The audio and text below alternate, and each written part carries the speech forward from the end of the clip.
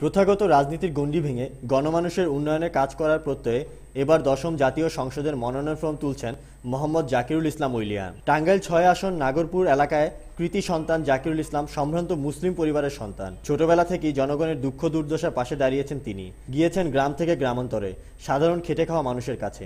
নিজের চোখে দেখেছেন সংকট আর সমস্যা। ব্যক্তিগত তহবিল থেকে বিভিন্ন সময়ে সাহায্য সহযোগিতাও করে এসেছেন গণমানুষের অতি নিকটতম এই বন্ধু জাকিরুল ইসলাম উইলিয়াম। তবে এবার তিনি চান নির্বাচিত জনপ্রতিনিধি হয়ে মহান জাতীয় সংসদে তার এলাকার সংকট সমস্যার কথা তুলে ধরতে। এজন্যই তিনি এবার আওয়ামী লীগের পক্ষে টাঙ্গাইল ছয় আসন থেকে মনোনয়ন আশা করছেন।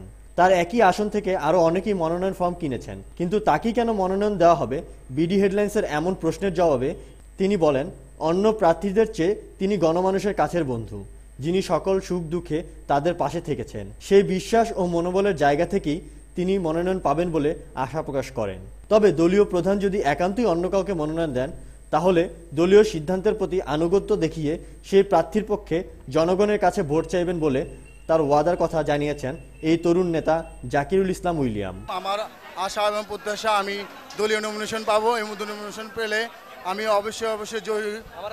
এলাকা জয়ী হয়ে আমি এলাকার উন্নয়ন করব নাগর দিলদরবাসীকে আমি চেষ্টা করব সার্বিকভাবে সহযোগিতা করতে। এবং আমি বিগত পাঁচ বছরে বিভিন্ন জায়গায় মসজিদ মন্দির, রাস্তাঘাট, বিভিন্ন উন্নয়ন কাজ পার্সোনালভাবে করেছি এবং আমি যদি আমি জননেত্রী শেখ হাসিনার যে নির্দেশ আছে, সেই নির্দেশ আমি মেনে